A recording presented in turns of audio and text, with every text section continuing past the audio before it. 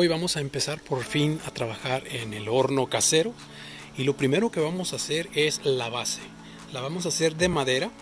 Esta madera es una madera que logré rescatar de unas obras de construcción aquí en el área. vamos a utilizar esta madera de aquí, triple también esa madera la vamos a utilizar. Esto es todo lo que he hecho, es la mesa donde va a ir el horno pizzero. Hola Hércules, estos son 2x8, eh, mide aproximadamente 46 pulgadas, 44 pulgadas por 43 de profundo o 44 de profundo por 43 de ancho. Las patas son 2 2x4 les puse una especie de refuerzo para que ahí descansara otro 2x4 donde vamos, te va a soportar el triple también a cada 9 pulgadas puse refuerzos parte donde va a ir el, el triple y ahorita lo vamos a poner también en las orillas le puse maderas de una por una creo que sí una pulgada por una y media de ancho por la medida de, de esta es irregular así que las puse sin ton ni son, pero todos están obviamente alineadas por ahí. Y abajo va a ser una especie de anaquel donde vamos a poder poner la madera u otras cosas ahí. Pues hoy vamos a continuar con el horno. Esta es la, la base que he construido de madera, ya la vieron antes, pero hoy la vamos a impermeabilizar, es el siguiente paso. Voy a impermeabilizarlo con una mezcla de diésel y chapapote o brea que le decimos acá más bien brea, pero nosotros le decimos chapopote, que sirve para pegar el cartón arenado en los techos de las casas. you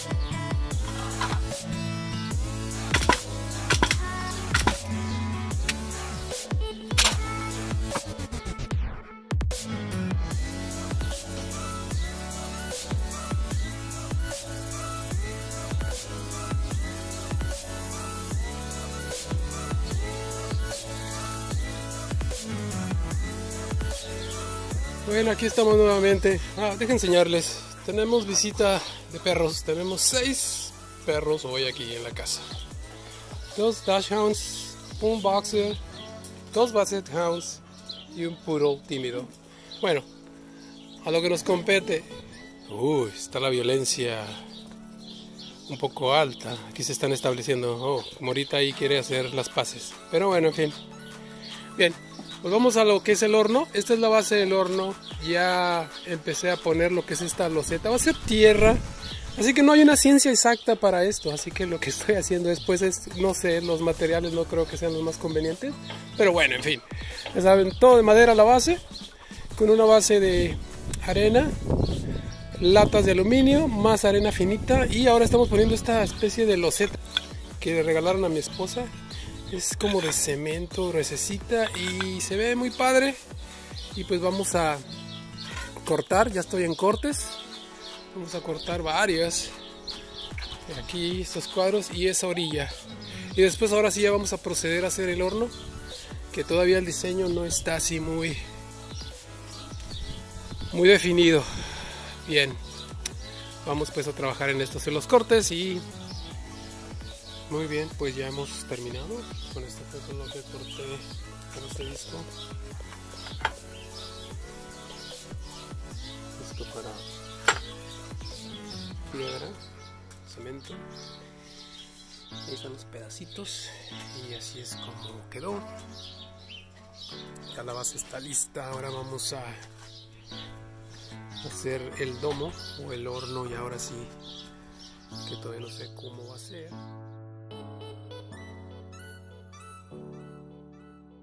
Bien, aquí tenemos ya el trazado. Si pueden ver la circunferencia. De cómo se va a ver. Este es el centro aquí. Este es este tape. Y este va. Y el tape ayuda a mantener el, este chilillo ahí en lugar. Y ahí voy a utilizarlo como para trazar mis circunferencias, circunferencias, que fue lo que hice aquí.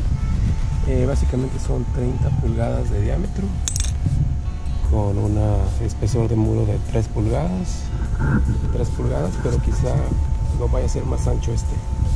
Y voy a fabricar mis propios ladrillos de adobe. Ese es el, así es como lo voy a aquí está ya por fin trazado. Tengo de apertura 19 pulgadas de aquí a aquí Y pues vamos a empezar a trazar aquí para poder sacar las dimensiones de los ladrillos. Creo que media, le voy a dar un poco más de ancho. Creo que tengo espacio.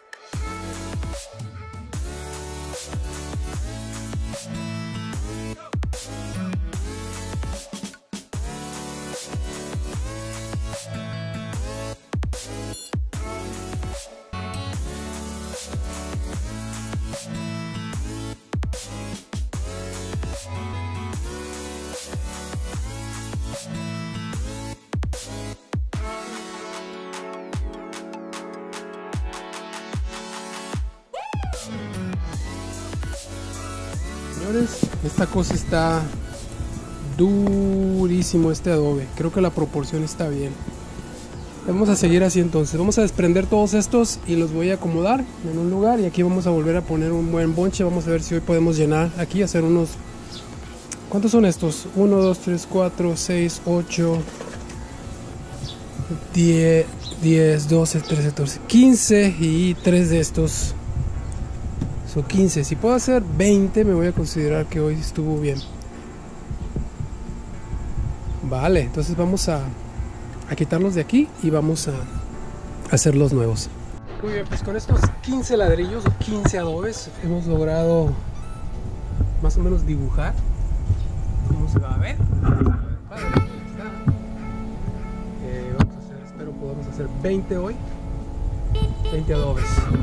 Vamos poner manos a la obra. Vamos a dejar estos en un lugar para que se sigan secando, pero ahí va, ahí va, ahí va. Podemos cerrar un poquito esto. Lo podemos cerrar. Tiene aproximadamente 18 pulgadas de aquí aquí. Con una gran puerta. A ver coquetón. Le vamos a dar, creo que dos hiladas más. Va a quedar aquí de alto, más o menos. Puede observar aquí. 10 pulgadas es lo que quiero darle.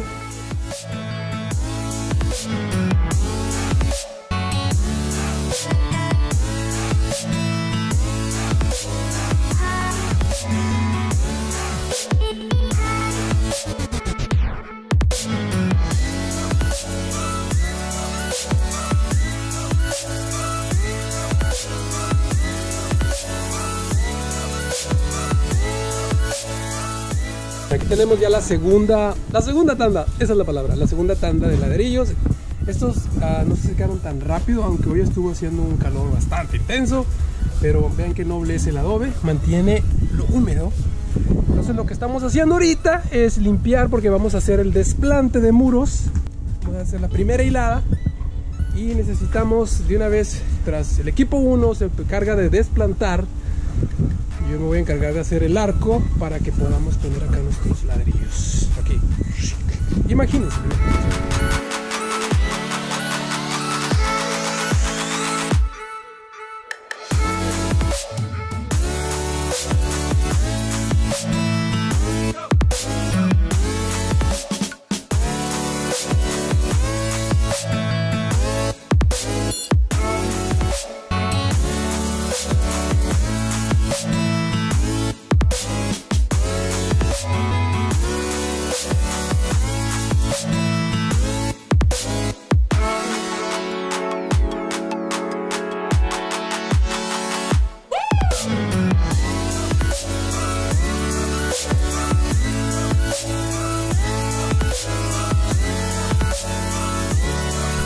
Así es como vamos.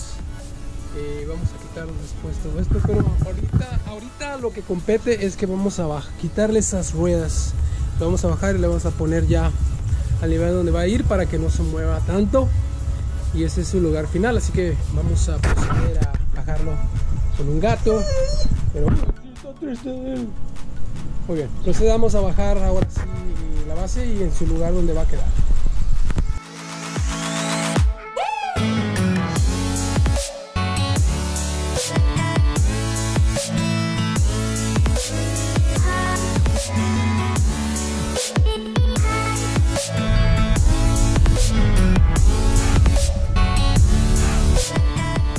Ya tenemos la armadura, lo que va a ser el soporte del arco, de la bóveda de cañón, de lo que es la puerta, ¿no? Ahí está, ahí vamos.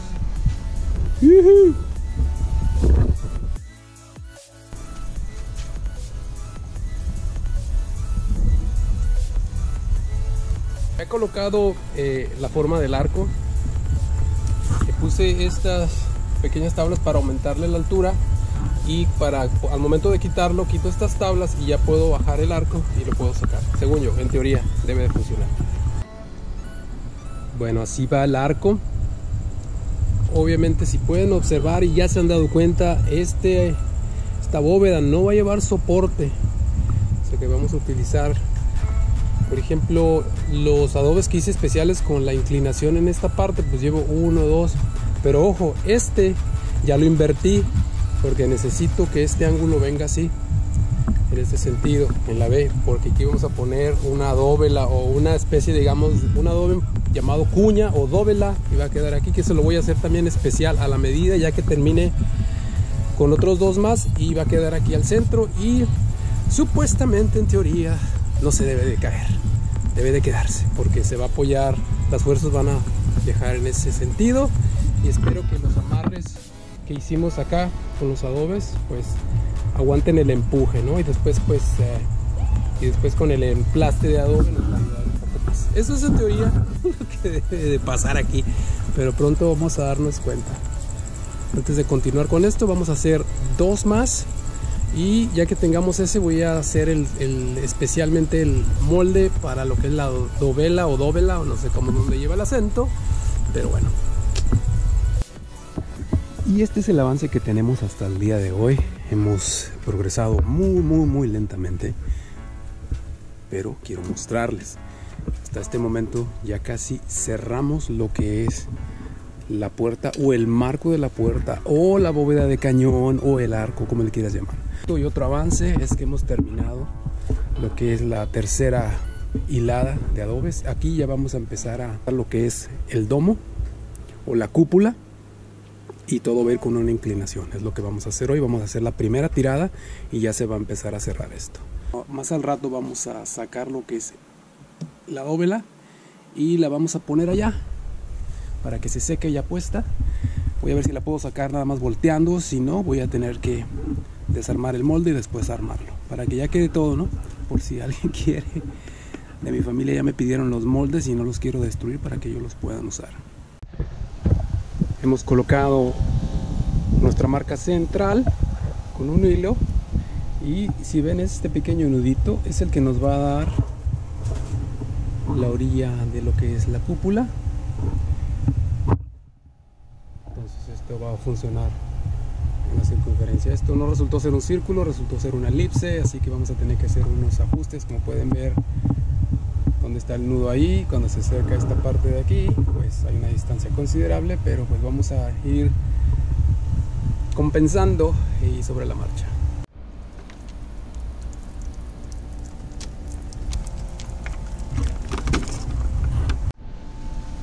Ya vamos en la primera hilada con la inclinación y nos falta cerrar esta hilada aquí. Entonces vamos a cortar este adobe para que quede a la medida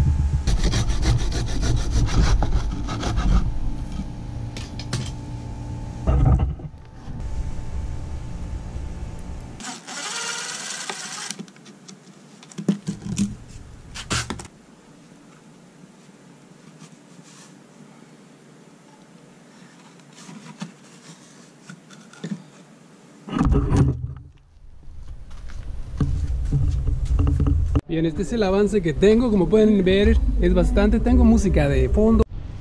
Y voy a hacer un poquito de trampa aquí, le puse unos chilillos ahí nomás, como para que agarre, para que agarre, no se me vaya a venir la doble. Ah, debe de funcionar más o menos, ¿no?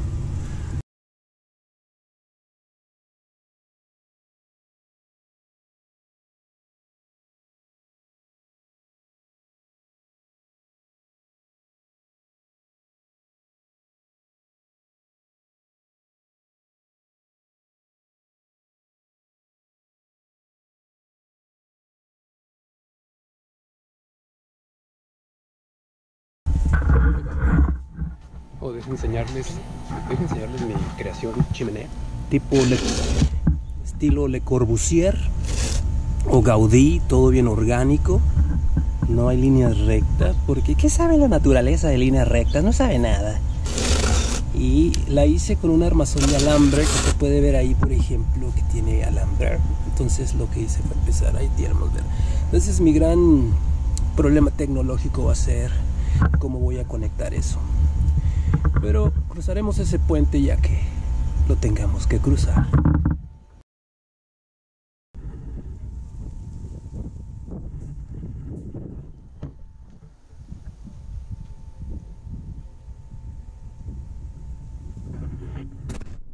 Más avances, ya como pueden ver, acabo de provocar aquí el, el origen del, del hueco para la chimenea. Voy a poner un adobe ahí y el otro va a quedar a hueso en las esquinas, se van a detener. Entonces se va a detener con ese y con el que ponga ahí. Y el mismo procedimiento voy a aplicar en este lado. Pues ya estamos llegando a lo que es el cierre del al cerramiento del domo. Vamos a cerrar ya lo que es el domo de la bóveda de este horno casero. Se está haciendo pequeño, pequeño y a ver cómo termina esta parte de aquí. Todo lo vamos resolviendo a cómo van ocurriendo los problemas, no vamos así con un plan específico. Han cambiado muchas cosas. Una cosa es planear y cuando llega el momento de llevarlo a cabo o de construirlo, pues no funciona. Y entonces, vámonos, sigamos trabajando. Este es el interior de la construcción. Es un desastre dentro.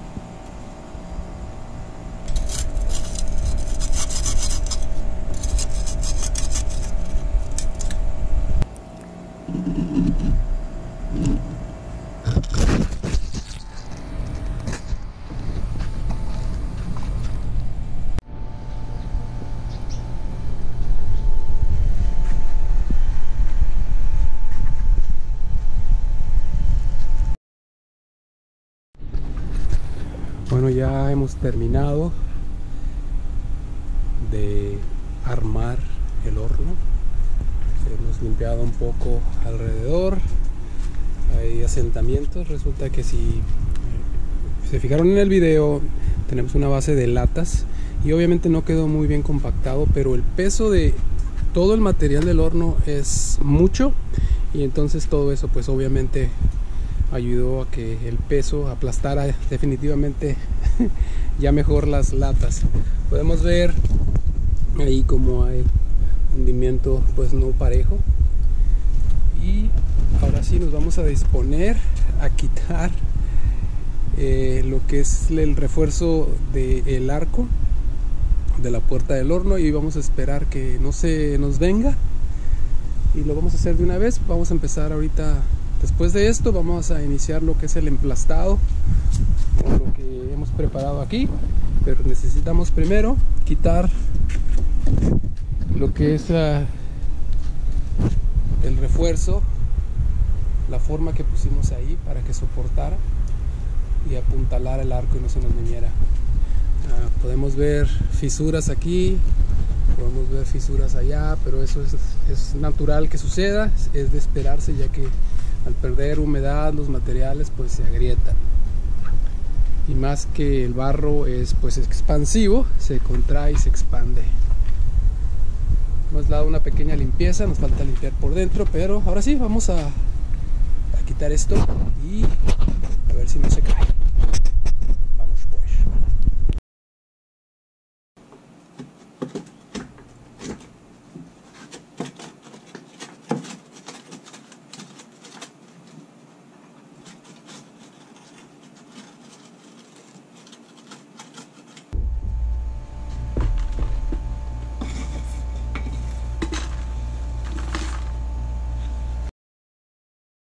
pues hasta aquí nos alcanzó el material para emplastar. Le dimos un buen avance. Y pues obviamente se va a agrietar.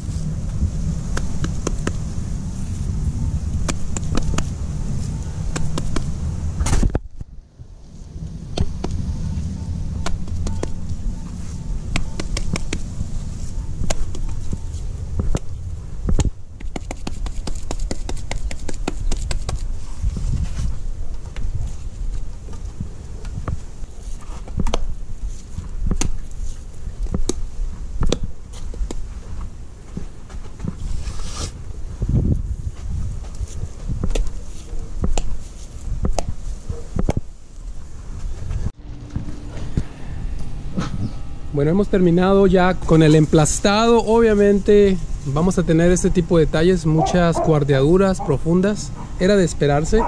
Ahora lo que procede, según la investigación que realicé, es que vamos a curar el horno. Y tú te preguntarás cómo es eso. Pues resulta que lo tienes que curar a fuego por 30 minutos y dejarlo y al otro día por una hora y creo que después dos horas, algo así.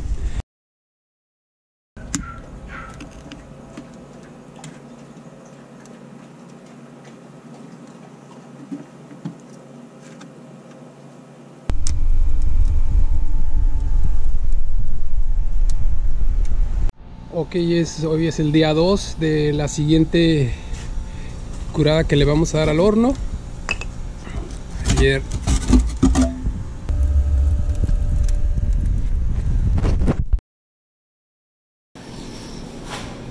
Estamos en Walmart y vine por una pizza de prueba, es la tradicional crust, o sea que es normal, no es delgadita y tienes, tienes hasta descuento, así que nos va a salir barato este tiro. Así que viene aquí a donde se fabrican pizzas al por mayor. A Walmart. Bueno, ya lo tenemos, ahora sí ya nos vamos. Vámonos. Una de las cosas que estoy preocupado es que tengo que tener el horno a 375 grados Fahrenheit por 16 a 18 minutos. Alcancé en el horno, fueron 200 grados Fahrenheit. O sea que vamos a tener que meterle leña con ganas.